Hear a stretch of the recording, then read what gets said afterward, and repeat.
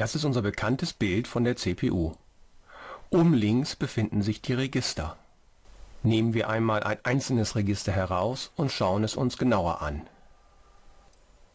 Das ist so ein einzelnes Register und wir wissen ja schon, dass ein Register dazu dient, eine Gruppe von Bits zu speichern und hier haben wir mal eine Gruppe von 8 Bits. Die Breite dieses Registers ist also 8. Es muss Eingangsleitungen geben und da wir eine Breite von 8 haben, müssen es auch insgesamt 8 Eingangsleitungen sein. Genauso wie die Ausgangsleitung, es sind auch 8. Jedes einzelne Bit, was in unserem Register gespeichert wird, ist als einzelne Einheit zu sehen. Und für jede dieser einzelnen Einheiten gibt es auch eine separate Eingangsleitung und eine separate Ausgangsleitung. Des Weiteren gibt es noch zwei weitere Eingangsleitungen, die eine bestimmte Funktionalität erfüllen. Wir schauen uns das mal im Detail weiter an. Und die eine Eingangsleitung wird also direkt durchgeschleift und jedes einzelne Bit erhält die Information, die über diese eine Leitung kommt. Das Ganze machen wir ein bisschen farbig, damit wir gleich nicht durcheinander kommen. Und auch die zweite Leitung wird so durchgeschleift, dass jedes einzelne Bit einen Eingang dieser einen Leitung hat. Auch hier kommt ein wenig Farbe ins Spiel. Wir benennen das Ganze und unsere orange Leitung ist die sogenannte Select-Leitung. Die grüne Leitung ist die Write-Leitung.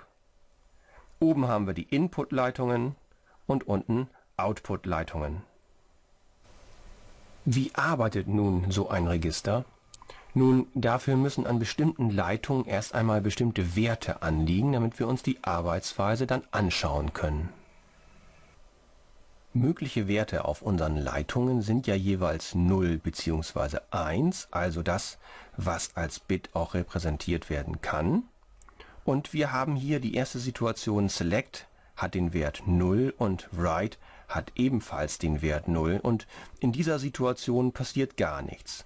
Select sagt aus, ob dieses Register ausgewählt ist und 0 sagt nein, dieses Register ist nicht ausgewählt und da passiert auch nichts, egal welchen Wert die Write-Leitung hat, ob 0 oder ob 1, in dieser Situation passiert gar nichts. Wechselt Select den Wert auf 1, dann bedeutet dies, dass die Output-Leitungen durchgeschaltet werden, das heißt die aktuell in den einzelnen Zellen gespeicherten Bits können so das Register verlassen und an anderer Stelle eingesetzt werden. Der nächste Fall Select gleich 1, Write gleich 1. In diesem Fall werden die Input-Leitungen durchgeschaltet und das ist wiederum gleichbedeutend damit, dass die Werte, die über die Input-Leitung hineinkommen, in den einzelnen Bit-Speicherstellen abgelegt werden und dort dauerhaft gespeichert sind.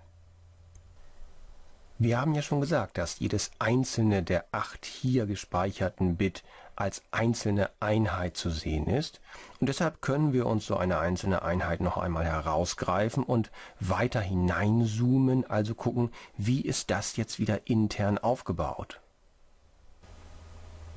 Wir sehen hier das Schaltbild für eine mögliche Konstruktion einer Speicherzelle, die genau ein einzelnes Bit speichern kann.